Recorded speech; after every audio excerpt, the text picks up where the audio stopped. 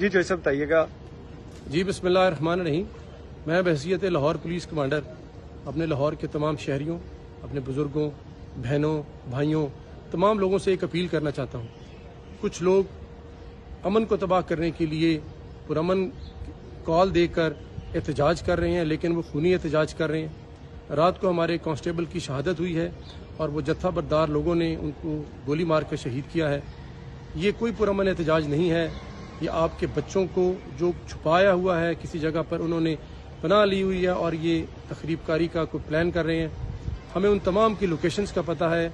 हम सिर्फ़ आपसे ये अपील करना चाहते हैं, अपने बच्चों के मुस्तबिल को दाव पे मत लगाएँ, उनको वापस अपने घरों में बुलाएँ बिकॉज़ ये कोई एहतजाज नहीं है कि आप लोगों की कानून नाफिज करने वालों की जान लें। खुदारा अपने बच्चों का मुस्तबिल मत तबाह कराएँ। और नौजवान नस्ल से मेरी अपील है, दर्दमंदाना अपील है कि पाकिस्तान के और लाहौर के शहर के अमन को बचाने के लिए हमारी मदद करें।